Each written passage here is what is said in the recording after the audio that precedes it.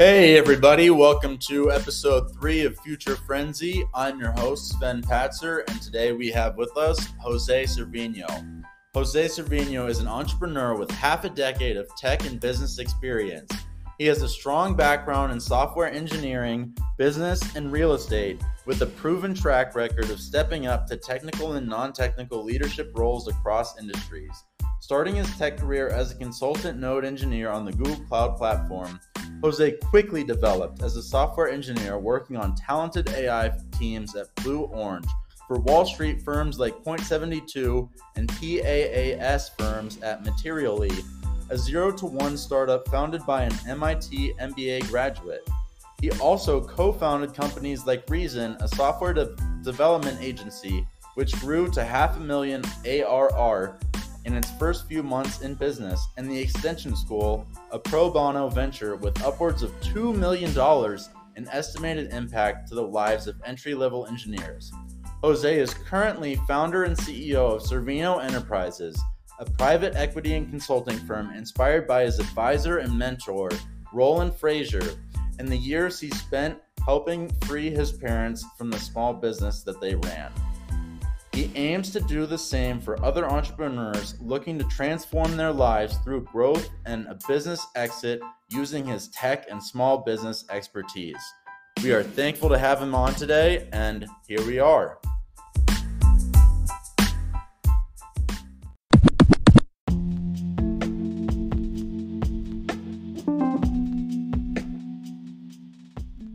Hey, I'm Sven, your host, and I'm here with Jose Cervino.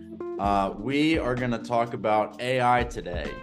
Uh, what artificial intelligence is, where it comes from, uh, how we can use it, uh, and what are the concerns behind it, and more. So, I, I guess to start off, um, people are finally starting to get an understanding of what artificial intelligence is because they're seeing it so much in the news. Uh, I think that uh, the news has has done a really good job of uh, keeping people informed on all the new developments in the space, uh, and so I think people who are unaware of the capabilities that ChatGPT has, but listen in to this podcast are able to actually uh, leave knowing some more beneficial skills and uh, some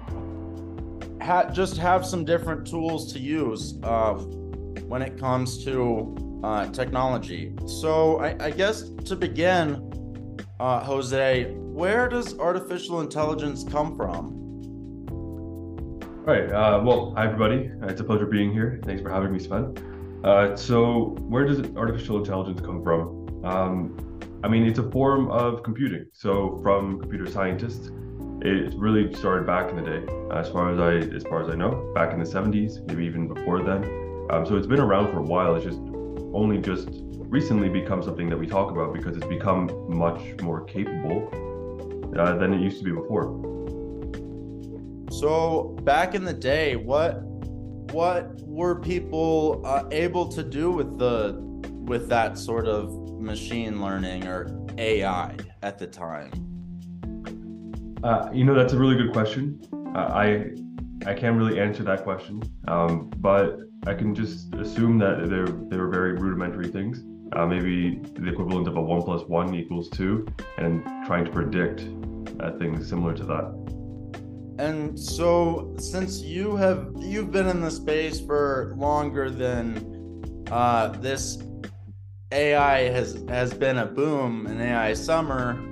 Um, how has it been changing and developing in the past couple years? Because it was a relatively small field, uh, and now it's just it seems like it's everywhere. So, what really in the past couple years has been the the big uh, changing factor when, when it comes to creating this stuff?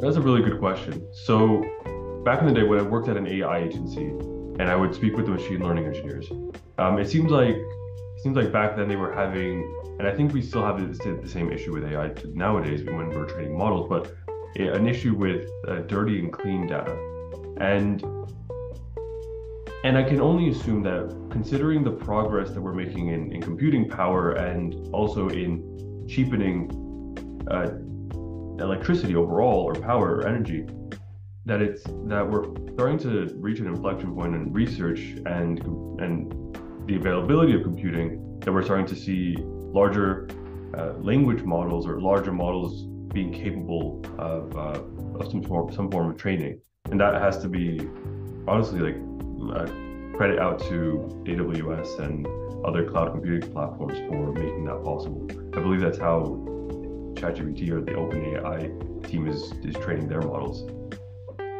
That's really interesting. Um, and so, it, eh, has it been uh, in any way related to like the way we've developed 3G to 4G to 5G, as in we have like the GPT 3, GPT 3.5. It seems like it's kind of a similar. Uh,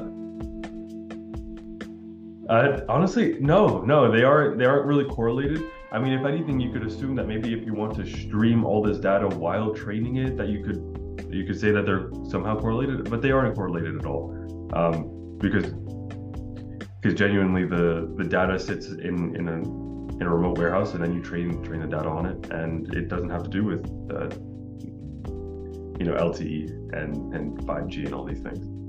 Yeah, I, I'm not saying directly correlated, but more of a like we are we're developing our technology further and further, and so it seems like it's uh, it's easier to hit milestones today uh, than it was before as as we're able to crank out uh, new new versions of technology uh, in the same year. Right. Um, right. So, no, that is impressive, honestly. Um, and that's it's actually more maybe a culture of it's. I think maybe it's two things, right? It's the culture uh, or the pace of innovation that's just natural in the tech industry, um, but it's also the pace of of, uh, of investment as well um, over the years, over decades, and finally seeing it all turn into a spark. And we have to acknowledge the fact that I mean, ChatGPT is like this breakthrough app, but it still isn't anywhere close to what AI is truly capable of just yet. It's our first encounter with with what we perceive to be a general AI, but it isn't in, in the slightest. It's just um, it's just a large language model. It's it's text based. So, what are some things that people say who are really new to to ChatGPT and AI? Uh, what could they sign in to ChatGPT and, and do uh, with the software uh, to make their work easier or to make communication easier, schoolwork easier, forms, uh, anything like that? Right. So, what, what would I tell somebody who's completely new to ChatGPT? Like, how do they leverage it in their day to day? Yep. Okay. So, I think the first thing, first things first, experiment with it. Uh, see, see what your your sit down five minutes. See what you know, kind of curiosities it can answer. Start playing around with what it responds with, and see how far you can push it. And you'll see kind of quickly that there's a limit to what it can do. Um, and and the out and the quality of the outputs as well. Um, but you know, long story short, what I found it useful for, and there's like maybe a range here of what's transformative and what's just generally just you know helpful. Um, on the helpful side, it's quick research where Google shares five, ten things that you know are generally applicable to the search that I that I put into the query box. And ChatGPT essentially consolidates all that and just gives me an actual straight answer it's very different. It's a very different dynamic, a very different UX there. So it's much more enjoyable in that in that regard, even though you have to wait a bit for the prompt to, to complete. Um, but then on the more transformative side, it's more like comparing doing a task to completing a workflow or completing, um, you know, overall objective, right? So you can complete one task, but if you apply it to an overall operation or, or a workflow, then and it can then then it becomes much more apparent the the efficiencies or the op- optimization that it kind of provides here. So the, on the on the transformative side, I have to say that learning. Learning with ChatGPT has been one of the biggest ROIs um, that I've seen. Uh, when I was working as a software engineer just recently, there were it, w- it would take sometimes like 30 minutes to, to a couple of hours to find some really deep technical uh, solutions to to whatever I'm dealing with on a platform. But ChatGPT, because it kind of already aggregates um, all this information on the web, um, even back to 2021, it can give me more direct answers to those to those workflows. Um, but to, to back, back to the education side, if you were to have a list of topics, and I, and I did this with with some programming, um, some programming topics.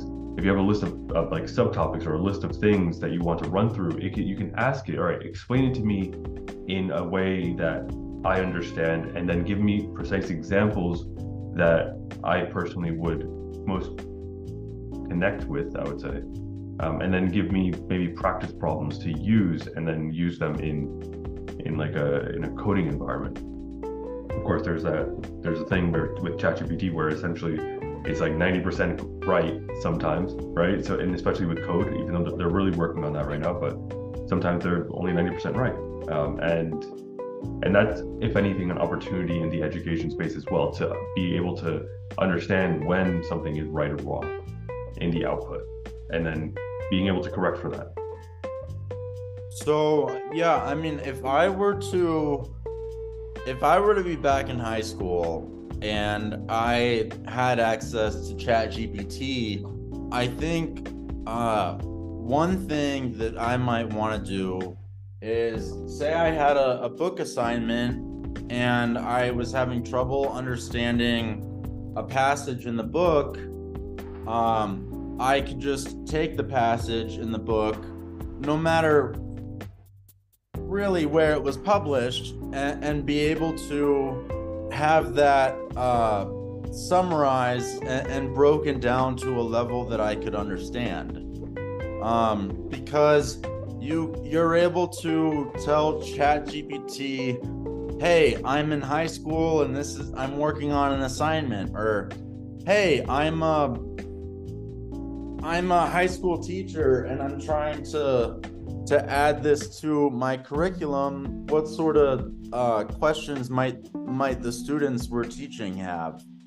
Uh, and, and then I, I don't know. I, I, I think that sim- simple things like that show that there's a lot of potential for use in education. Um, and I know that we're just scratching the surface right now.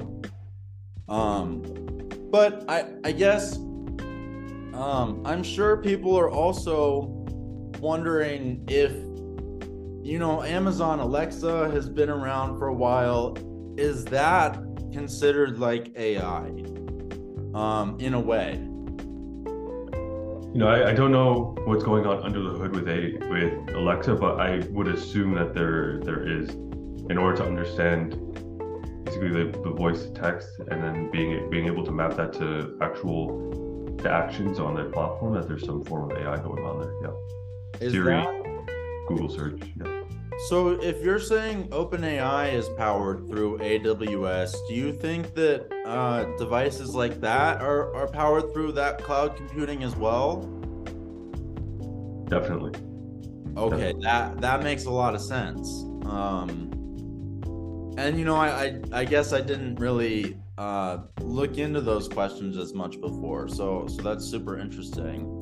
Um, and so what you do with your company is you use super super advanced uh, Chat GPT prompts, correct?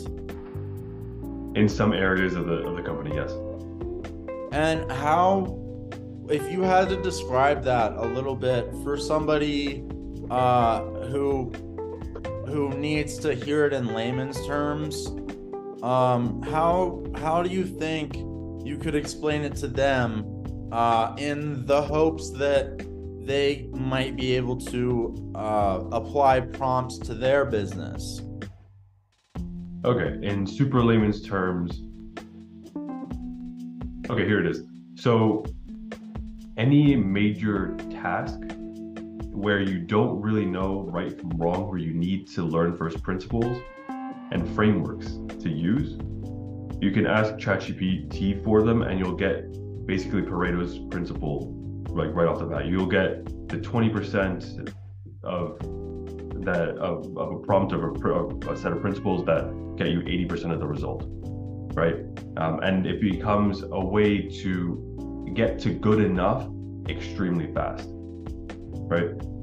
Now, the more advanced parts of it is essentially fine tuning the prompt, fine tuning the amount of, of information that you're giving it, um, and properly labeling that information. So then it gives you the proper responses. But that is all basically just a, a function of, of, of, your need, right? Um, so, so yeah, so in layman's terms, you can get very good very fast at just about anything, um, and you can get about maybe five to ten times as much done in the same amount of time. You don't have to take, you don't have to spend the 20 hours learning like the the bare minimum. You only need about five to ten minutes. So, what if we run through some like basic use cases uh, for ChatGPT for people that may be in professions already, uh, but have not looked into this AI thing at all? Uh, maybe maybe they're just uh, older or, or haven't thought it's been relevant until it's it's been blasted all over the media. So say uh say you're a doctor. I I recently saw and made a post about uh chat GPT passing the uh US medical exam. Uh and so my my question is if you're a, a nurse or a doctor, uh what sort of benefit do you think that you could have from chat GPT? Well, I can I can assume that if you're a doctor, a nurse, or any sort of professional that, um, but specifically and nurses, that essentially you can get the information that you need faster. So you can actually input a series of uh, symptoms potentially, and you'll receive the right output or a, a good enough idea as to what to look for in in the patient. Now, I can't really speak too much on that because you know I'm not a doctor. Um, I don't have a medical background, but I can only assume that considering what I've seen, you know, the impact that, that ChatGPT has had in my learning, in my, in my business, and in my personal life, that it can transform their their search and and hypothesizing, um, you know, dramatically, as dramatically as it has for me. Okay, maybe maybe that's a little tougher because it, it requires a degree to talk about, but uh, here's an example that that could be used in, in a lot of uh, areas. So say you're selling you're selling solar, like you're selling solar panels to people. Um, how could you use the technology to find clients easier or be able to uh, develop email lists quicker or or things like that. So if you were to put yourself in the position of a of a basic salesperson, uh, how could they improve and uh, you know take their sales to the next level? That's, a really interesting question because I'm I'm dealing with a lot of sales right now. So basically, you know, in, in sales there's a workflow. There's A to Z, and there's there's steps along which a prospect has to go in order to become a closed client and a, and a you know happy customer along each one of those points you basically have objections or you have questions um, and you can ask chatgpt to answer those objections give you answers to those questions um, but in terms of lead sourcing as well you can also ask maybe chatgpt 4 which has more recent up-to-date information on, on the web exactly where the, this type of avatar this type of person right uh, tends to spend the most time now it might not have the exact right answer, right? It might have a broad answer, but it'll give you a good enough start so that you can get the ball rolling and that you aren't left knowing nothing, right? So it's it's really is it changes the pace at which you can co- accomplish your basic tasks in, in ways that very few other tools have ever you know had or done. That I think that is an awesome answer, and I think questions like these are going to be easier to answer than you know a, a doctor md uh, sort of question so maybe another use case uh, that that people uh, might be interested in doing is um, using ChatGPT to help with their taxes. Um, do you do you know how people have been uh, utilizing it to, to do government forms and, and similar things of that nature? Because uh, you know government's so automated and, and boring. It, it seems like a, a robot would be the perfect solution. Yeah, yeah. You know, that is one of those areas where we should definitely optimize. We should definitely leverage this type of AI, this type of conversational AI to, to, to solve a lot of things. But to the point, I've actually used it for my taxes. Um, and the way that it has helped me the most is not in trying to find loopholes. It's been in trying to find exactly which forms to use. Interesting. Yeah. Uh, but then second to that, second to that, um, in in like spreadsheets. What we're finding is that you know ChatGPT there's an API underneath it. There's like a, a, a source right that any application can can start to talk with. You can use and if you look it up online you'll see that in a Google Sheet um, or now in the Microsoft uh, you know Office suite that you have these both you know ChatGPT kind of plugins and co-pilots there. So if you have a large data set multiple different sheets. It can essentially ingest it and start answering questions about that data in real time. And that honestly is relatively transformative as well, because you'd otherwise spend hours trying to understand advanced models or advanced uh, finances for a company, let's say, and and now it just answers questions. You don't have to do that those those hours of mental modeling. That yeah, that that's very very cool. Um, I I think it, there's so many use cases. It, it's it's really really uh, crazy. Uh, and I think another thing that may be a little similar, uh, you know, it, when we're talking about use cases, uh, people who are just starting a business. Uh, you know one of the biggest things that that's necessary for um, starting a business is your uh, your marketing plan.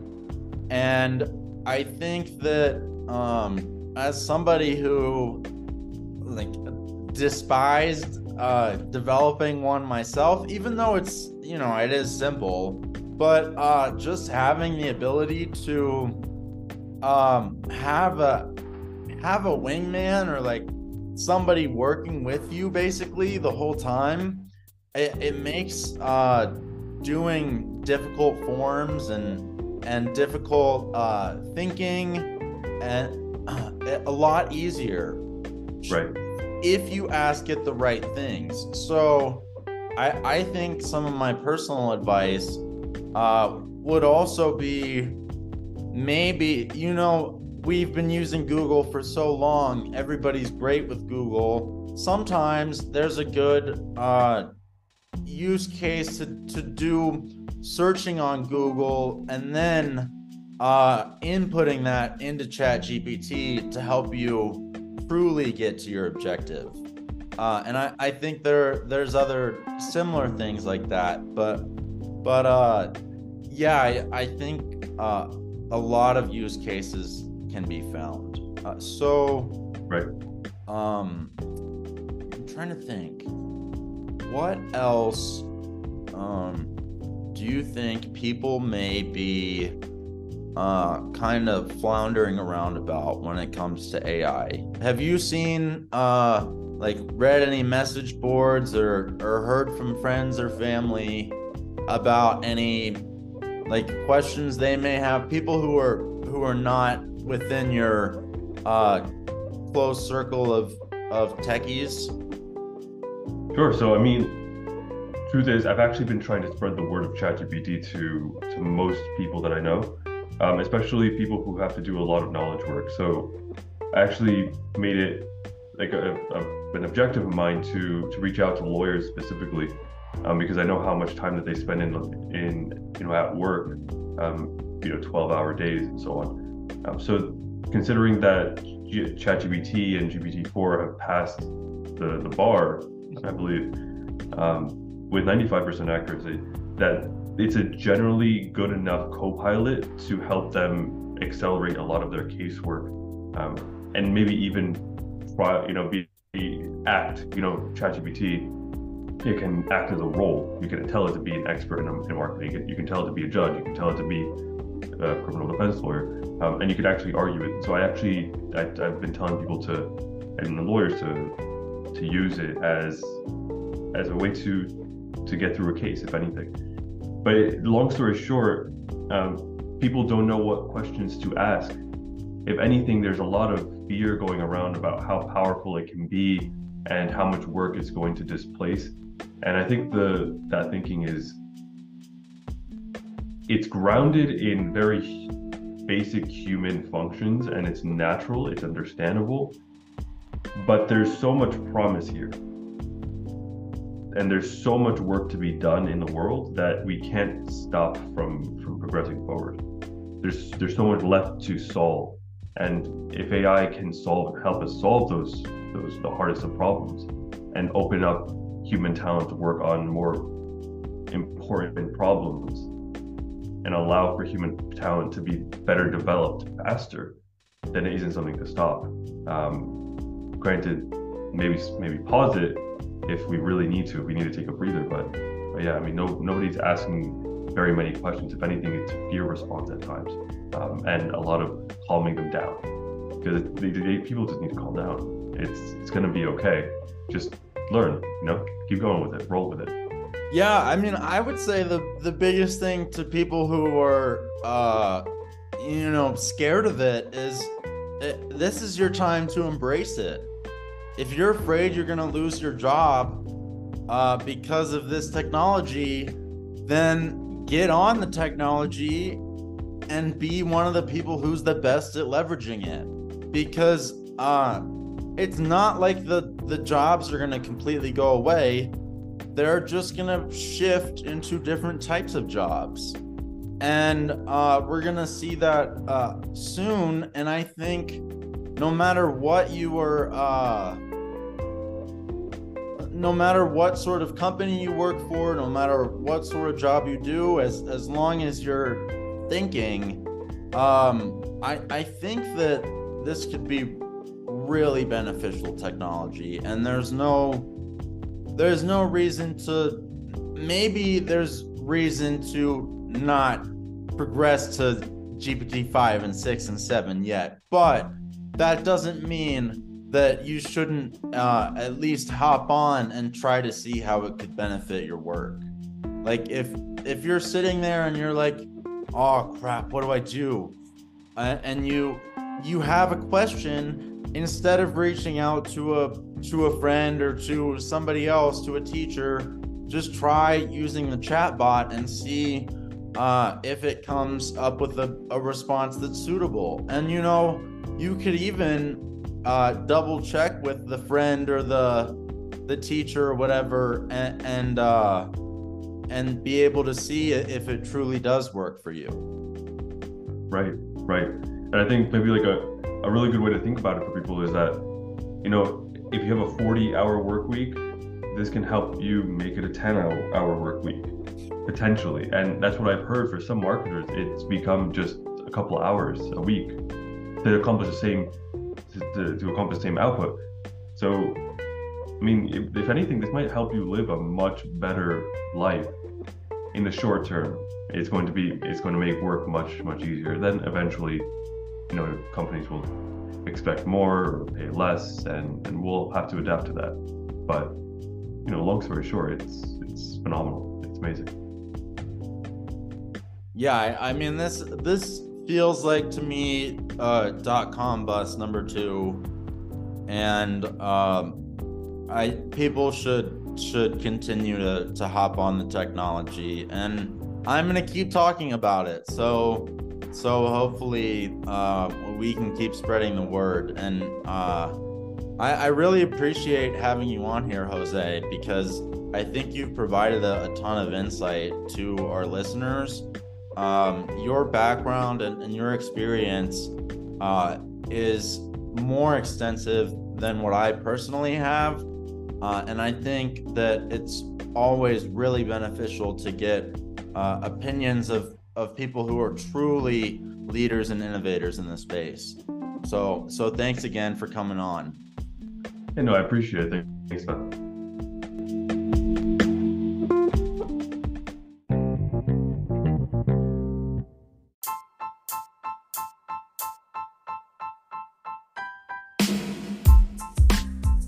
Thank you again for listening to this episode of Future Frenzy. I'm your host, Sven Patzer.